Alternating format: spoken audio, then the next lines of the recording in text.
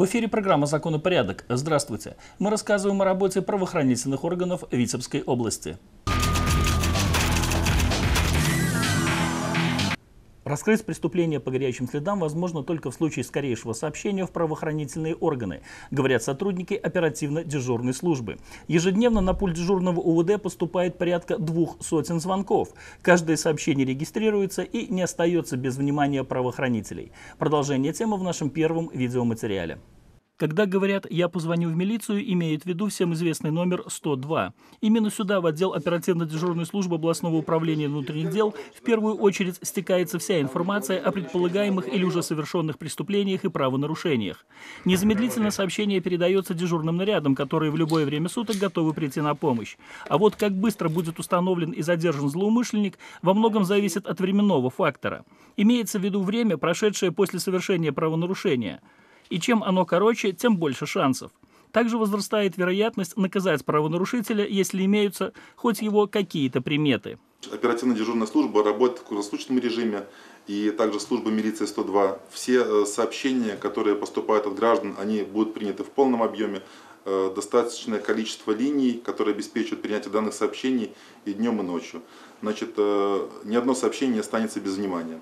Также хотелось гражданам напомнить, что э, э, чем меньше времени проходит с момента совершения правонарушения до того момента, когда гражданин обращается в органы внутренних дел, тем наибольшая вероятность установить правонарушителя и в дальнейшем привлечь его к установленной законом ответственности.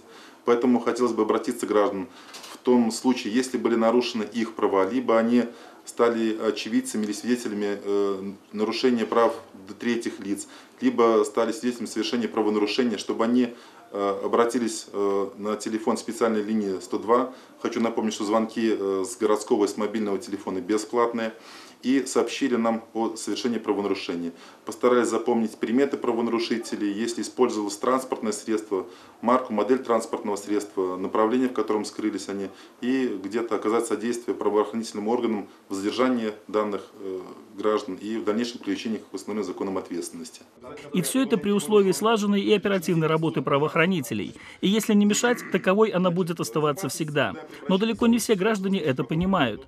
Иначе как объяснить большое количество так называемых ложных вызовов? Это когда пытаются обмануть, либо обращаются, как говорят, не по адресу. Следует помнить, что за ложный вызов предусмотрен штраф в размере 15 базовых величин, а за повтор ли в течение года сумма уже возрастет до 50 базовых. Нужно понимать, что время прибытия на место преступления строго регламентировано. Временные рамки у нас установлены в соответствии с приказом ведомственным нашим значит, и в зависимости от степени тяжести правонарушения. То есть если на административное правонарушение время прибытия у нас в городе до 15 минут, то на преступление в зависимости от э, времени, с какого времени прошло преступление, значит, у нас до 10 минут прибытия. Если преступление прошло э, больше уже часа, то время прибытия, временные рамки, конечно же, увеличиваются. Подытожим, правоохранители готовы прийти на помощь всегда, при условии, что им не будут мешать заниматься своими прямыми обязанностями. В этом году на территории Витебской области возросло количество краж и угонов автотранспорта. И хотя цифры не критичные, тем не менее ситуация требует пристального внимания правоохранителей. Наиболее подвержен этим правонарушениям Полоцкий регион. Говорят, что по прибыли после торговли оружием и наркотиками криминальный автобизнес занимает третье место. Присутствуют подобные правонарушения и на территории нашей области. Как говорят оперативники, в последнее время обстановка с кражами и угонами авто стабилизировалась. Даже по отношению к ситуации, которая складывалась всего несколько лет назад, когда на территорию Беларуси приезжало очень много автомобилей из Российской Федерации. Среди них было немало машин с криминальным прошлым и так называемых двойников. Сейчас стало спокойнее в этом отношении. Тем не менее, данный вид криминального бизнеса имеет место быть. О кражах и угонах автотранспорта сообщают СМИ, да и оперативные сводки правоохранителей тому подтверждение. На территории Витебской области за 2017 год совершено 15 краж автомобилей, из которых на данный момент 4 остаются нераскрытыми. Наиболее подвержены данному совершению преступления это Полоцкий регион, где в настоящее время сейчас совершено 6 краж автомобилей. Также на территории Витебской области совершено 19 угонов автомобилей, из которых э, один остается нераскрытым. Оперативники говорят, что занимаются криминальным автобизнесом люди из разных слоев общества. Соответственно, и цели у них в этом черном деле разные. В основной массе преступления совершают э, ранее судимые, которые с целью покататься на данных автотранспортных средствах или с целью дальнейшей их разборки. Э, в марте месяце за совершение серии преступлений задержан житель Поводского района, причастность которого установлена к четырем фактам краж автомобилей.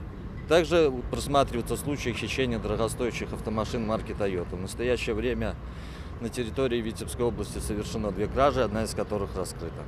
Э, одна кража совершена в городе Витебске. В ходе проведенных мероприятий машина обнаружена э, на территории Московской области. В отношении местонахождения второй автомашины не установлено. Сейчас проводится комплекс оперативно-розыскных мероприятий. Безусловно, правоохранители будут искать украденные или же угнанные авто и приложат немало сил и умений, чтобы работа принесла положительный результат. Только вот и самим автолюбителям не лишним будет в первую очередь позаботиться о сохранности своего имущества. А способов, как известно, немало.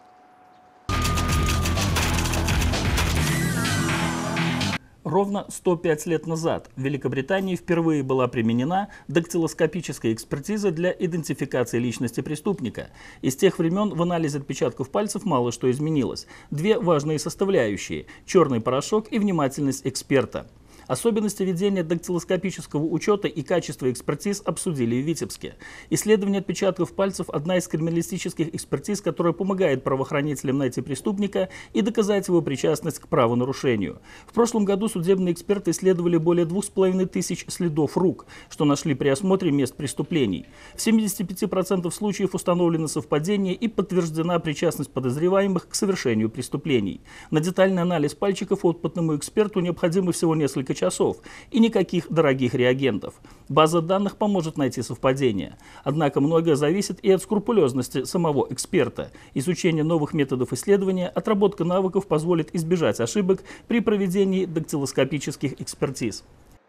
Дактилоскопия и дактилоскопический учет в частности, и это достаточно большое подспорье для работы правоохранительного блока страны в целом и э, международного сообщества, в том числе и по выявлению и установлению идентификации личности преступника, либо розыску преступника, установлению лиц без вести пропавших, либо неустановленных трупов.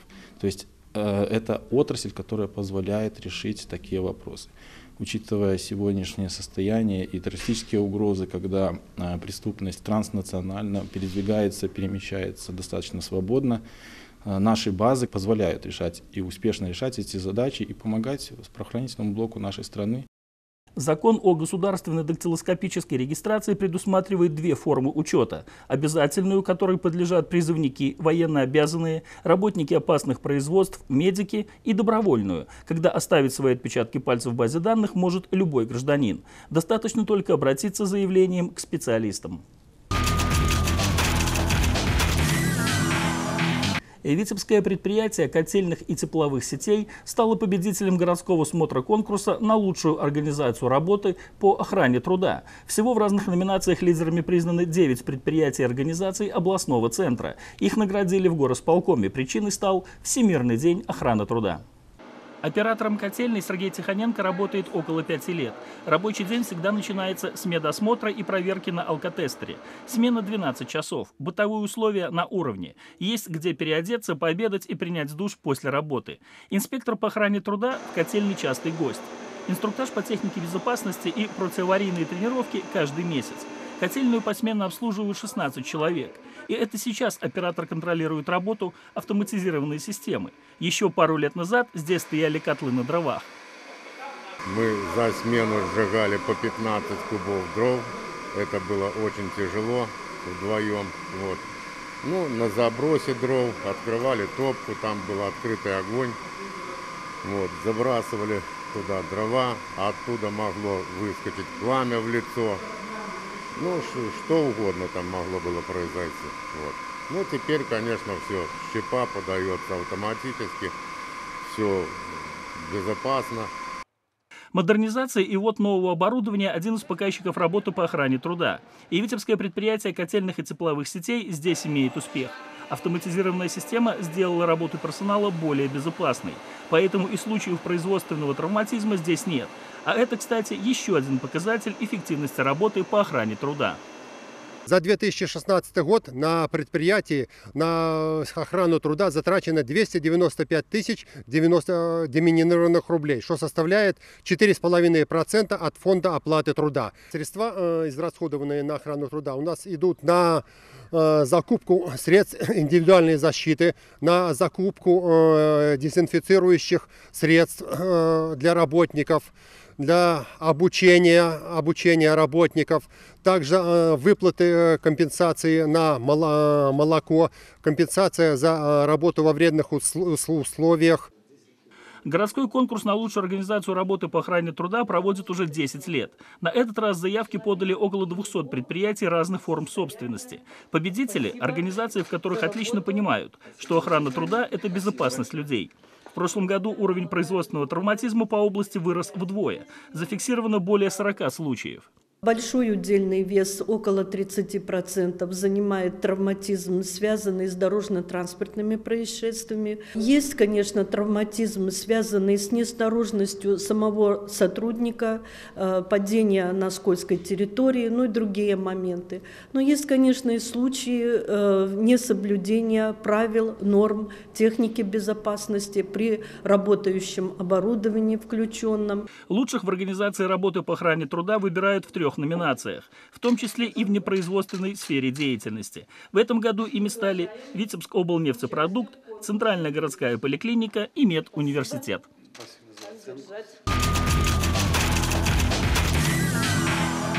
На этом, уважаемые телезрители, наша программа завершена. Я ведущий Вадим Лопатинский и творческая бригада говорим вам всего доброго. До встречи через неделю. Смотрите «Закон и порядок».